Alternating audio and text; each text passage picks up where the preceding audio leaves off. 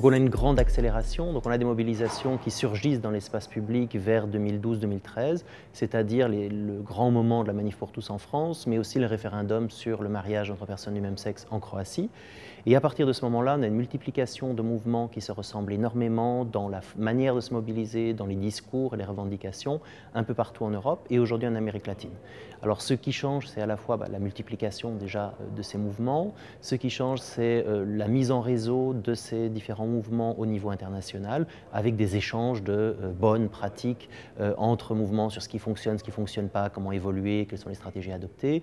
Et alors un dernier élément important, c'est qu'aujourd'hui, on a un certain nombre de mouvements qui accèdent au pouvoir, soit euh, au niveau régional, comme on l'a vu dans certaines régions en France, voire au niveau euh, national. C'est par exemple le cas en Hongrie, en Pologne, plus récemment en Italie. Et alors là, euh, ce sont des mouvements qui ont accès au pouvoir d'État pour imposer des choses, par exemple, en termes d'éducation sexuelle dans les Donc en fait, c'est un discours qui naît pour comprendre ce qui s'est passé dans les années 90 lors de grandes conférences onusiennes, où on voit la reconnaissance des droits sexuels et reproductifs et du genre dans le langage juridique utilisé par l'ONU. Et donc le discours anti-genre, c'est surtout un discours qui essaie de comprendre ce qui se passe, ce qui s'est passé à ce moment-là. Et on voit le genre qui émerge comme l'idée d'une grande conspiration entre des militantes féministes, des militants LGBT et des chercheurs en études de genre.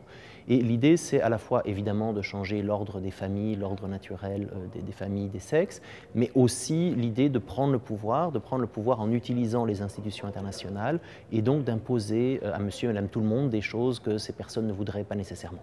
Donc c'est un discours de conspiration. L'autre élément important, c'est que c'est aussi une stratégie d'action et c'est une stratégie qui vise à diffuser des euh, conceptions alternatives de concepts progressistes, le genre bien sûr, qui a une définition totalement différente de ce qu'on peut utiliser à l'ONU, mais également le féminisme ou encore l'écologie.